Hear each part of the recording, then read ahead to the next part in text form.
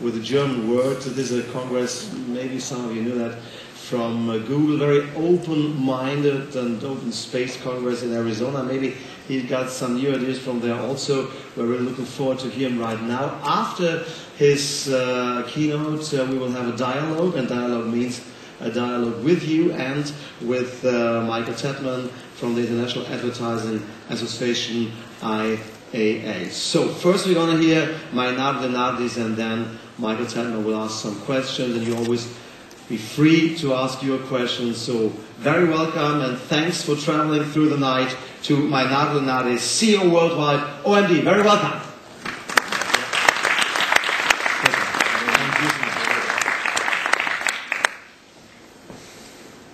Good morning, everybody. Looks like many people decided to have lunch instead to listen to my presentation, but uh, I hope you will enjoy it nonetheless, and we'll try to be quick so that you can join everybody else for, uh, for lunch. Now, uh, the title of my presentation is uh, The Digital Inflection Point, and as you, can, as you can see, the word digital is uh, between brackets. And there is a specific reason for that. I don't like the word digital. I think that uh, it, uh, it has passed its time, and I think that is divisive. I think it separates instead of uh, uh, uniting. As, as a consumer, as an individual, for me, digital means uh, accessing information, news, entertainment, being connected with my friends, have an opportunity to share. As a marketeer, as an agency, I think digital for me means the electricity that empowers every marketing program. As such, as the electricity that empowers everything else, we don't talk about electricity. We don't say uh, we're going to have a cold beer thanks to the fridge that works with electricity. It's obvious. It's taken for granted. It's part of our life. It's part of everything. It doesn't need to be specified anymore. It doesn't need to divide. It doesn't need to separate, to separate in a world which is becoming more and more uh, integrated.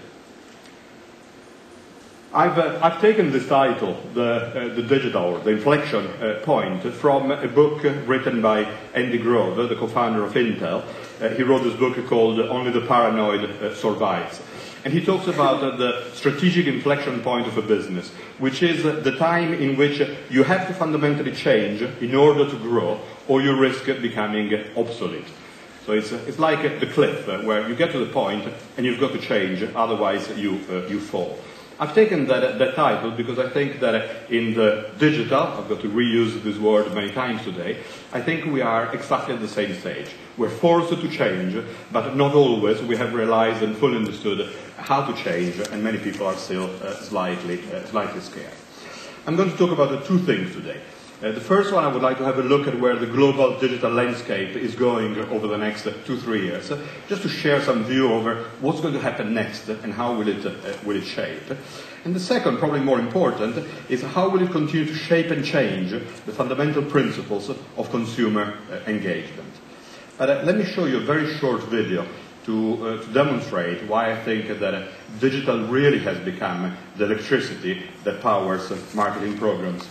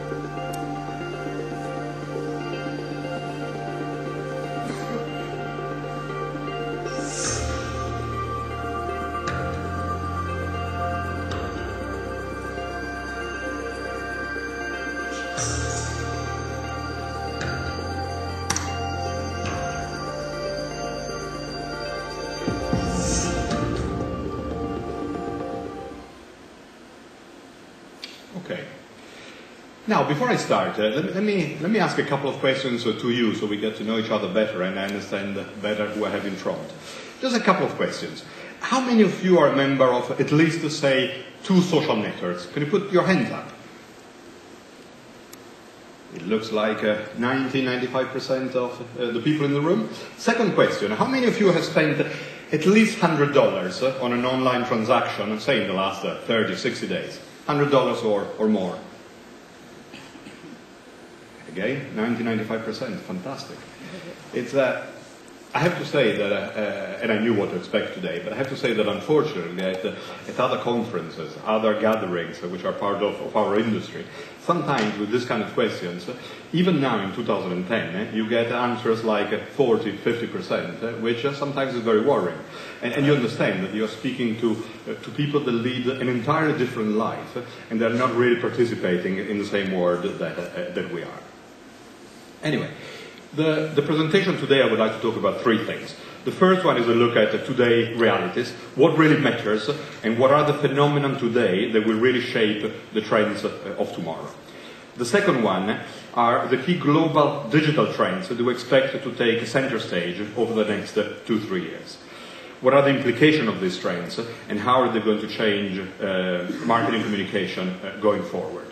And the third one is, uh, is just a view, a suggestion of uh, what we think that leading marketeers need to do uh, in the future as an entire organization, not just from the top, in order to, to, be, uh, to be a part uh, of this new life and to get ahead uh, of, this, of this curve. So let's start by grounding ourselves in, in the key phenomenon in the digital space today that, that really matter. And uh, we have identified four areas uh, which, uh, which we think are important to us. And let's expand on each of one of them you probably know all of them. The first one is the economy. Uh, in essence, uh, how this is going to, the economical downturn, how is it going to impact on digital behavior? What has happened in the last two years? Has it really changed the life of, of consumers? Access, uh, how the changing phase of access is accelerating and transforming uh, digital engagement, uh, mobility, uh, what is happening in a world which is becoming more and more unrestricted, uh, and social. It's not just about Facebook and, and Twitter, but how this new identity system, which is the, the behavioral overlay of the web, is really influencing everything we do from search to commerce to, to communication. Let's look at them one by one starting from the economic ripple effect, which, uh, uh, which has so much accelerated and cemented different trends and behaviors over the last 24 months. And uh, what we have done uh, over the last uh, year, year and, and, a couple of months, is a big research across 19 markets with consumers, qualitative and quantitative, to, to understand what's happening and to get some numbers and, and some trends. What, uh, what we find fascinating is that behind this uh, nine universal consumer behavior which emerged, uh, digital is a common thread across all of them, across each one of them. And uh, let me just pick three uh, as an example of behaviors which I think that will, will continue way after the, uh, the recession and the downturn is, is finished. The first one is cocooning, which is about staying in, staying at home, doing things in a different way. Uh, benefit from uh, digital uh, entertainment, gaming, streaming TV, download music, movies, using digital at home to do things without the need to, to go out. The second one that I wanted to mention is free fun, which really is everything which is low-cost entertainment uh, via the net, uh, being it on a, on a mobile or a fixed uh, platform. And the third one, which is important, is brace on buying, where more consumers are really seeking out price comparisons, deals, bulk buying, coupons uh, via the web. It has really accelerated this trend, which was there, of course, before the, the recession, but it has accelerated to uh, a new level uh, today. I think this, uh, these numbers provide a bit more textures on the smart shopping uh, behavior I was mentioning. And you can see how the internet is really playing a significant role in enabling the, smart shoppers to research products, compare prices, get better deals uh, online, uh, much more than they did uh, before the, uh, the recession.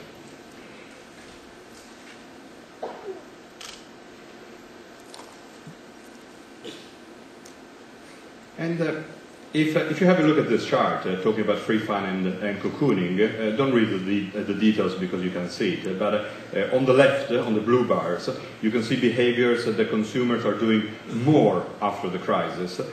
Uh, things like chatting, socializing, streaming video, surfing. On the right, on the contrary, in the yellow bars, you see what consumers are doing less, which is going to live events, movies, uh, museums doing things outside, and normally things that have a, a price and, uh, and a ticket uh, connected to this.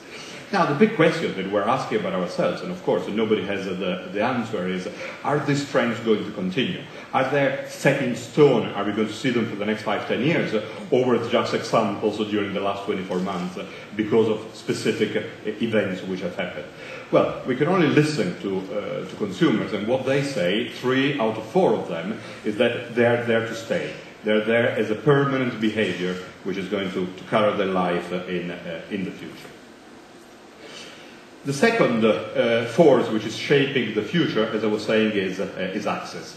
And it's really transforming digital uh, engagement because of uh, connectivity, uh, which is becoming much more wireless, uh, broadband, which is enabling much richer and faster connections every day, the launch of 4G, etc., etc., and devices, which have really become multidimensional gateways to, to content more than single pieces of, of hardware the lines are blurring, all the devices are becoming the, the, same, and they seem to do similar things. The smartphone uh, nowadays looks like a gaming device. The gaming console is looking a lot like a, a home entertainment console. And the iPad is really merging the capabilities of laptop, smartphone, e-reader, and uh, another device. So it's really critical that we understand how to develop seamless cross-platform content and messaging uh, strategies seamless because we may see the difference between a device and, and the other. We may have different strategies, but the consumer certainly doesn't. He gets and he hears and he listens to this buzz. He gets a conversation. He doesn't know where it comes from, nor is it relevant where it comes from. It's a conversation that is happening seamlessly across all uh, the, uh, the devices. We think in terms of platforms, the consumer obviously uh, doesn't. Now, the real news uh, is that the next billion internet users will leapfrog straight to the mobile web experience, bypassing the PC-based experience as we know it, because that's where we, uh, we come from as a generation. And the majority of these new users will come from emerging, very populous uh, countries like uh, China, like India, like uh, big parts of, uh, of, of Africa. The third grounding point, looking at, uh, at current ongoing uh, trends, is the era of, of mobility, which is so profoundly changing the game for, for consumers and, uh, and marketers. And uh, we are using uh, appropriately, I think, the term mobility and not uh, mobile, because it's not just about the mobile phone. It's a lot more than, than the mobile phone. It's, it's really about a portable web experience, whatever form the, Uh, the hardware that may uh, manifest itself uh, in. And, and, mobility is much bigger than the mobile phone alone, because while, while we know the smartphone penetration is expected to reach 40% worldwide over the next three years, which is, which is a huge number, and many people believe is underestimated, and that it actually may be much more than 40% over the next three years. This is only a very, very small part of what Morgan Stanley has uh, predicted to be 10 billion wireless devices in use by 2013. 2013 is, uh, is tomorrow. 10 billion uh, devices uh, at a wireless uh, level. And I mean, this really, again, what I said before, it really forces us to think about how to engage with consumers across an entire ecosystem of wireless uh, devices smartphones, netbooks, tablets, e readers, handheld gaming devices, GPS devices, etc., etc., etc. We look at them as separate platforms, the consumer doesn't. How do we have a message which is totally consistent and it reaches the same people and it generates conversations using so many different uh, platforms? But let's ground ourselves uh, even more in these numbers and let's look at another couple of statistics that help to understand the, magnitude, the scale uh, of the developments. Going back to mobile phone, penetration globally today is uh, at 4 billion uh, subscribers, which is a huge number if you think of the, of the worldwide population. But let's do some comparisons with, uh, with other devices. This means there is two and a half times the number of PCs, three and a half times the number of landline uh, phones, uh, which by the way is, uh, is beginning now to decline, and four times the number of, of televisions. And if we look at the future, over the next two years, this 4 billion people will become 5.5 billion people, which is 77, 80% of the worldwide uh, population. And as we said before, 40% of this, uh, of this 5.5 billion are uh, smartphones. And I think that the most important point on this slide is that the mobile phone will overtake the PC as the most common web access device within the next three years. Again, this is a, well-known statistic. Is it three years or is it two? Are we going to get there much faster than, uh, than we expected? And personally, I think uh, yes. And, and I think this creates a huge challenge for, for agencies, for marketers, for uh, clients, for the industry really, in, in that we still have so much to learn about mobile as a marketing platform, and we don't have time anymore because we are there, it's happening uh, in front of us.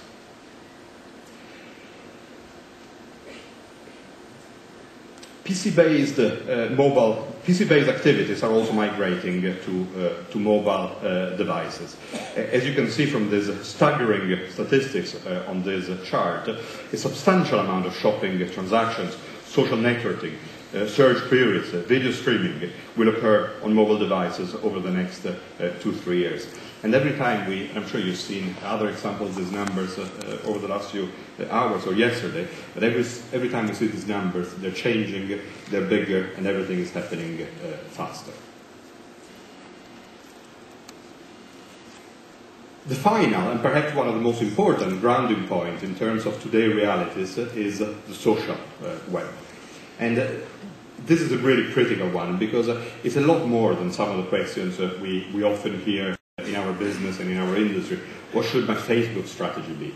What should my Twitter strategy be?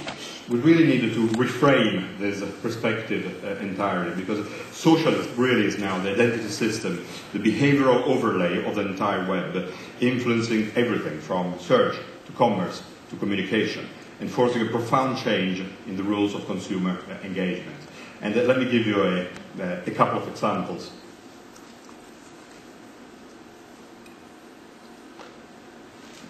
If we look first at the dawn of social search, social search, we can see what Google and Bing uh, are doing, and I don't know, two or three examples. Uh, Google's real-time search includes uh, real-time social media feeds from a variety of sources and lists them within its organic search uh, results. Uh, Google social search provides a more focused search result based on users' social uh, graph. Uh, Bing's, uh, Bing tweets, uh, like Google Real Time, is harnessing live feeds from Twitter into, into their search results. And now, these are just examples, and some of these products have been more successful or will be more successful than, than others. What I think is really important is that the direction towards an increasingly personalized web is very clear and is there to stay, towards a much more personalized uh, web. The, uh, the, second area that brings uh, this evolving role of uh, social to life is the socialization of commerce, which is influencing uh, many new business uh, models. Let me just focus on, on the second example that we have on, um, on this chart, which is how the socialization of commerce can be leveraged as a powerful marketing approach.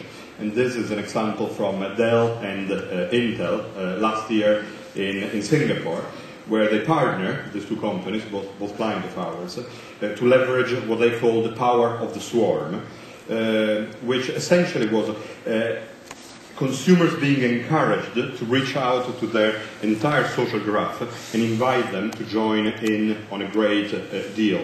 And the larger the group, the lower the purchase price of, uh, of the computers. And the numbers kept uh, becoming higher and higher and higher, way beyond the expectations of the plan at the beginning. So much so that they're now thinking of rolling this out, uh, certainly across Asia Pacific and possibly across the, the world.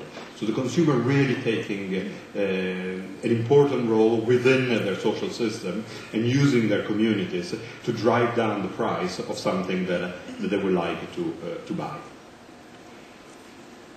So if social is uh, rewriting the rules of uh, consumer engagements, I think there are three uh, impactful, uh, meaningful and actionable trends that we can uh, learn and take and, uh, and use.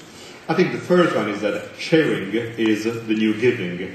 And this has a lot of implication in terms of the type of the type of content and brand experiences that we create, because unless these are valuable, entertaining, relevant, uh, they will be absolutely uh, meaningless.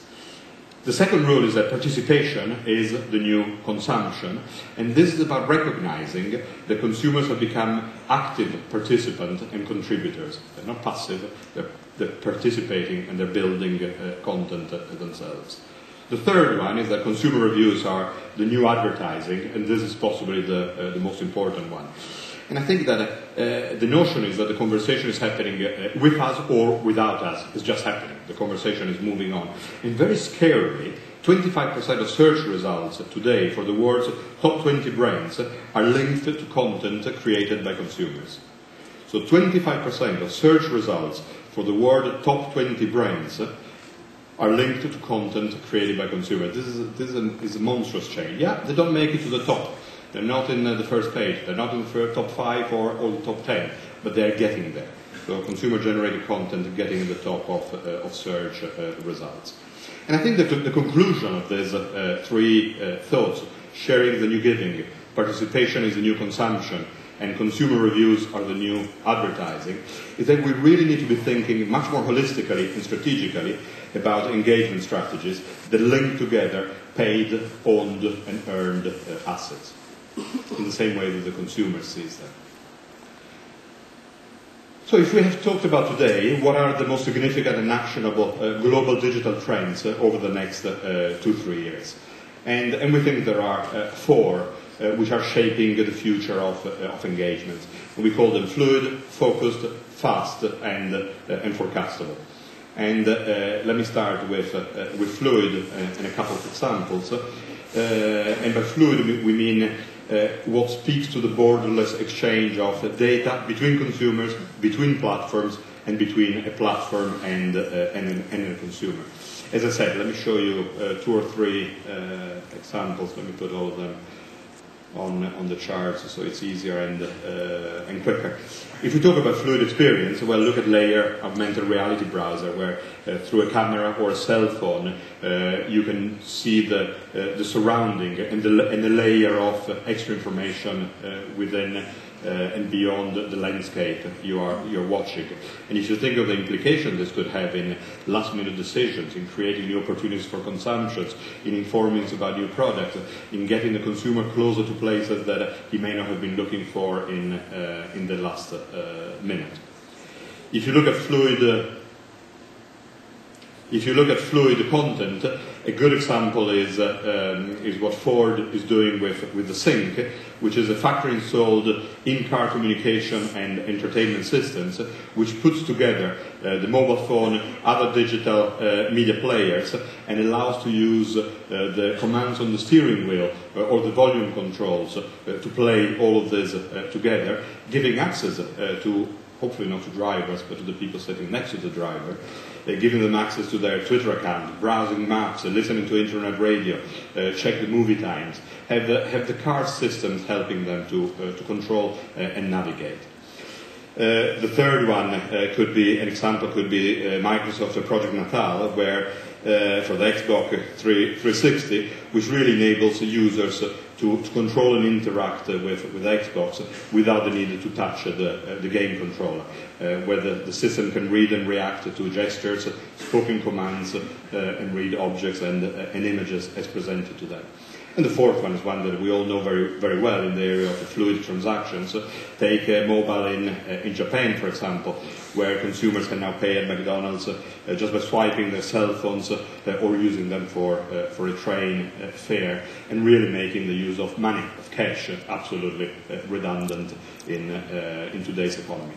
or TwitPay could be another example in, in fluid transactions, where there's a Twitter-based service allows users to send money between people, uh, between Twitters, without having to go through a separate channel like a bank, uh, which traditionally charges uh, money and takes time uh, at, every, uh, at every step.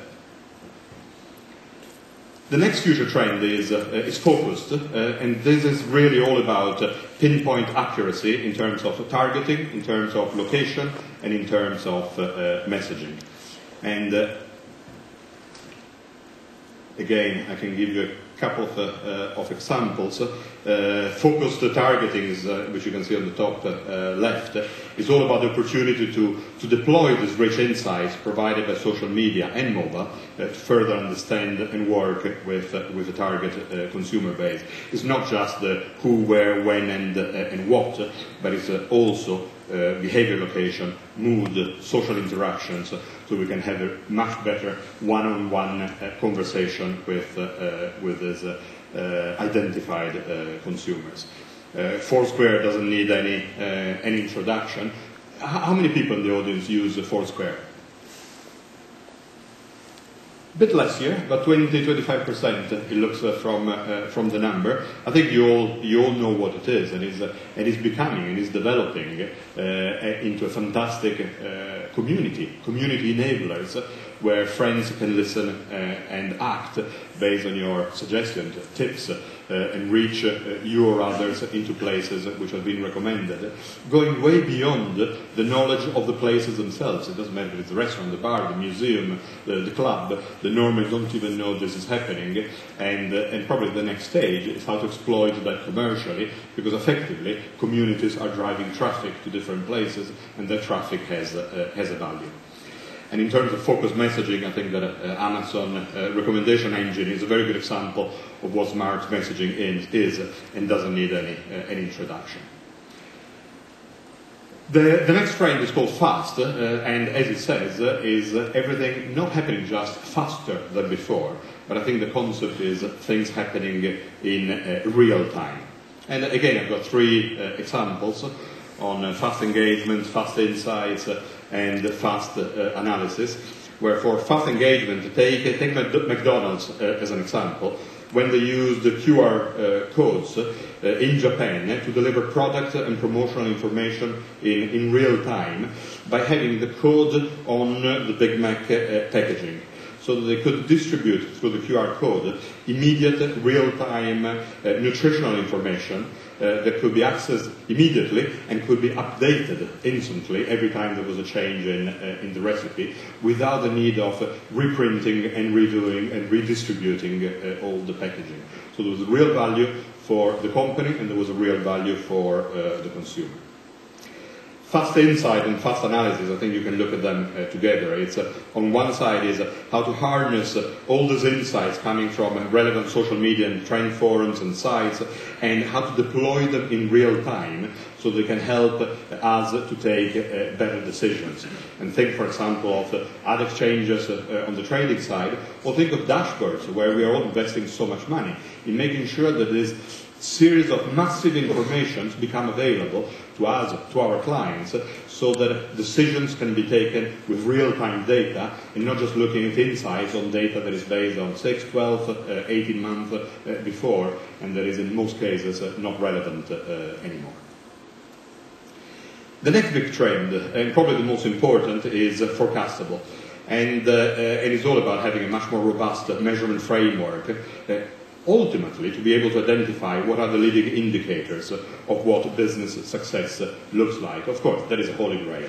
Is what we all uh, look forward to have all the information that can predetermine how to reach success uh, with, uh, within the next marketing program. And don't, don't look at this in too much detail because there is too much information in, uh, inside, and this is uh, just a, a, framework to, to help taking Uh, decisions uh, which are much more data driven. And if we look at the, the way that Intel's uh, uh, measurement system uh, and principles are, there are two things which I think are very important that they have adopted, and I have to say that we as an agency have learned so much from them. The first principle that they have is measuring what really matters. What activities do we really value along with the purchase funnel? Or whatever the purchase path that looks like. And the second one, what is the actionable data that we have relative to, to that question? Because anything else really should not be a priority because too often we suffer from uh, data paralysis. Too much information, too much contrasting information, which is not really helping us to take a real-time, quick, relevant uh, decision. And the second uh, principle which they apply, which I think is fascinating, is how you then connect all the dots between the engagement touchpoints, including both online and offline, using this data. And, uh, and here you start to have a bigger picture and to identify the leading indicators of what is happening with, uh, with the business. Now, with that, uh, if I manage to click. With that picture and that framework in, uh, in mind, I think that uh, if we agree on all of that, that there are a few lessons that can be taken for here, and we try to codify it into eight points that we think are important for us as an agency, we think they're important for our clients, and we think they're important for, uh, for the industry. So let me go through these uh, eight points uh, very quickly, and then perhaps we can discuss them in, uh, in the Q&A later. What are the strategic implications of what is happening today and the trends which are happening and shaping the industry over the next uh, 24, 36 uh, months. The, uh, the first one, as we see it, is to have a transition uh, mindset. Organizations need to transition their mindset to think about digital as an enabler to achieve broader business objectives, not just as a media channel, because it's not just a media channel. The second one is have a vision. Uh, we think the marketeers should have a vision that asks, what are we trying to solve for? And how can digital help? How can it provide the solution to this, uh, to this marketing uh, opportunity? The third one that we mentioned before is apply a consumer lens because we need to recognize that this new ecosystem is seamless, is borderless, and it crosses all platforms as seen by the consumers, not as seen by, uh, by us, the, uh, the marketeers. So all strategies and initiatives and messaging need to be in sync, from marketing to communication to retail uh, to recruiting. We have to eliminate silos uh, it's the only way to achieve uh, holistic strategies and executions. Organizations really must eliminate, or at very least bridge, the silos uh, which are still so much existing in, uh, in our business. The fifth one is to become a living brand, and the idea here that brands have to become much more dynamic and human, and actively listen, learn, participate, share, engage with the key constituents constituents that, that they, uh, they're playing with. Number six is to champion a beta uh, mindset. We needed to test we needed to learn, we need to facilitate innovation and experimentation and sharing of this best practice in order to stay ahead of uh, these changes in the digital economy. The seventh one for us is learn uh, and share, mandating continuous digital learnings and sharing of best practice to help organizations to be more nimble, more agile in this extremely fast-paced uh, world. And the eighth and, and last is to define strategic metrics. What, what really uh, defines uh, and measures the, uh, the core business objectives? How do we move away from fluffy uh, I call them uh, marketing KPIs, and move to proper measurable business KPIs. It doesn't matter if it is uh, sales, loyalty, productivity, trial, but really measurable and identifiable KPIs. And how can we as an industry be measured on the successes so that our whole remuneration is based on delivering of a KPI which affects the sales or the success of the brands that our clients are, are marketing? And I think that is possibly the, uh, the most important one, how to create a new currency and a new measurement across the whole ecosystem to measure not just uh, outputs in separate ways, which is what we've been doing for the last 20 years, even before the, the digital era, but how can we measure conversations, including everything which goes from paid to owned uh, to earned, and have a real value, and using that for trading in in media and understanding what final effect it will have on the sales of, uh, of the product. Okay, and I think we've discussed a lot of exciting opportunities and, challenges, many challenges for, uh, for the future. And I thought it was only fitting to end on this famous uh, quote from, from Darwin, which always reminds us that responsiveness to change is the only trait that guarantees uh, survival. If we don't change, we, uh, we die, and that's why we call it the inflection point. Uh, and we demand that there's this change in the industry, and that's why we've taken this presentation to all our staff uh, globally uh, across 100 plus uh, offices at every level of the company because uh, we want to make sure that we speak the same language and we have a deep understanding of what is happening in the marketplace to share in the same way across geography with, uh, uh, with our clients. Thank you very much, and I think that uh, we now have a, a, series of questions or, uh, or Q&A. Okay. Thank you.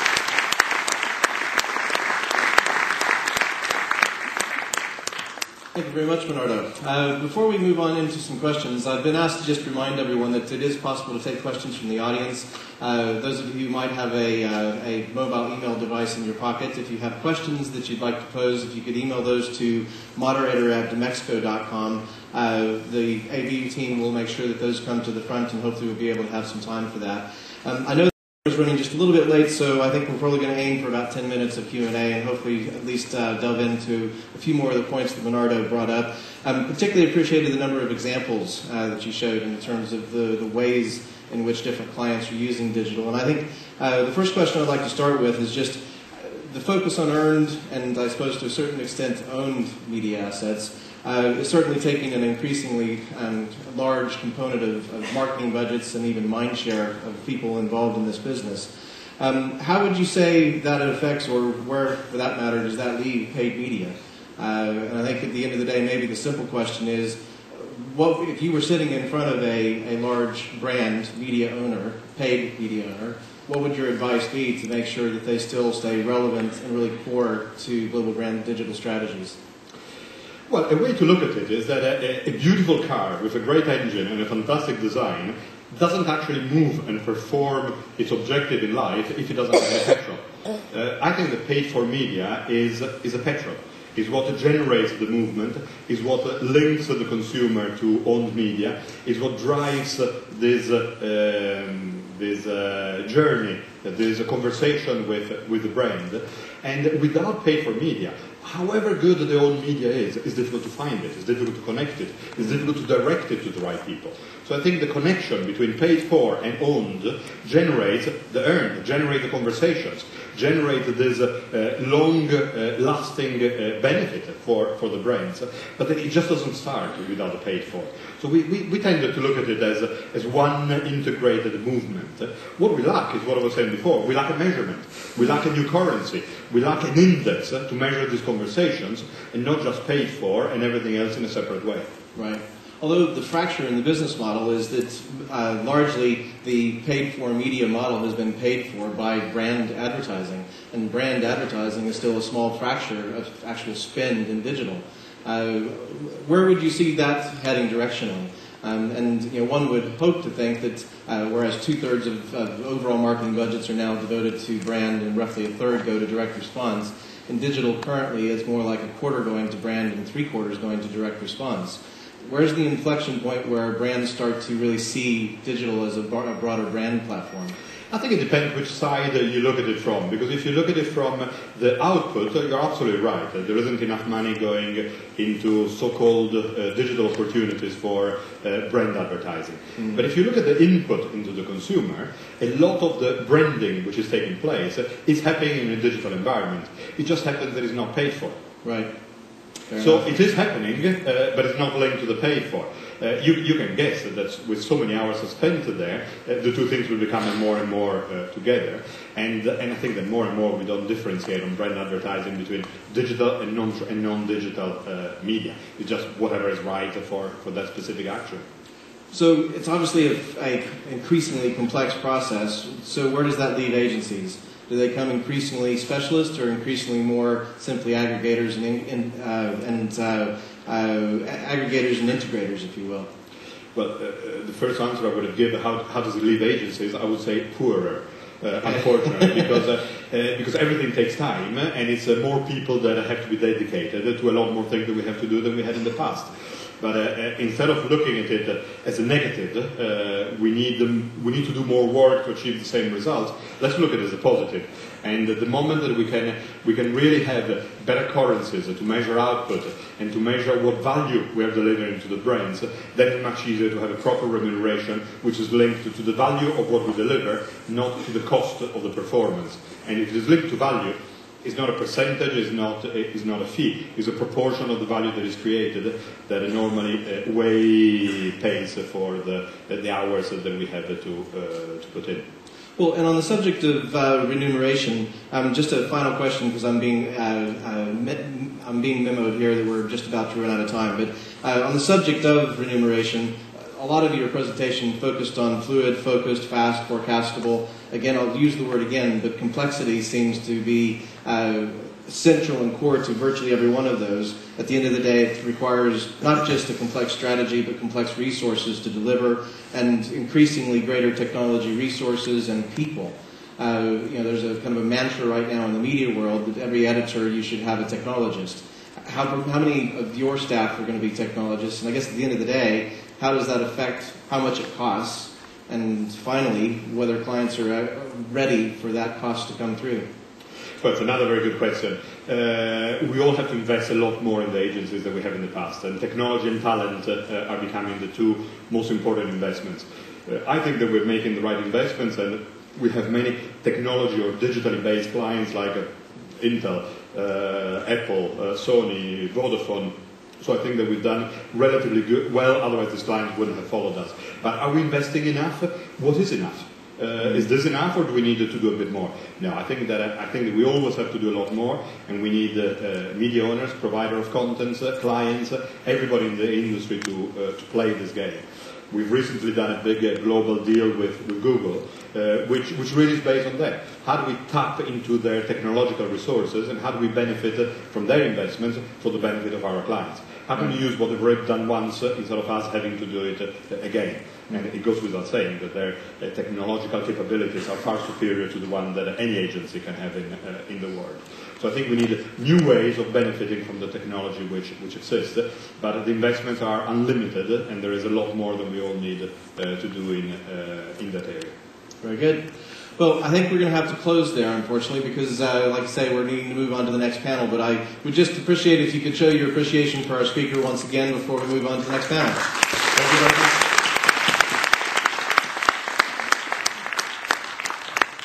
Thank you very much.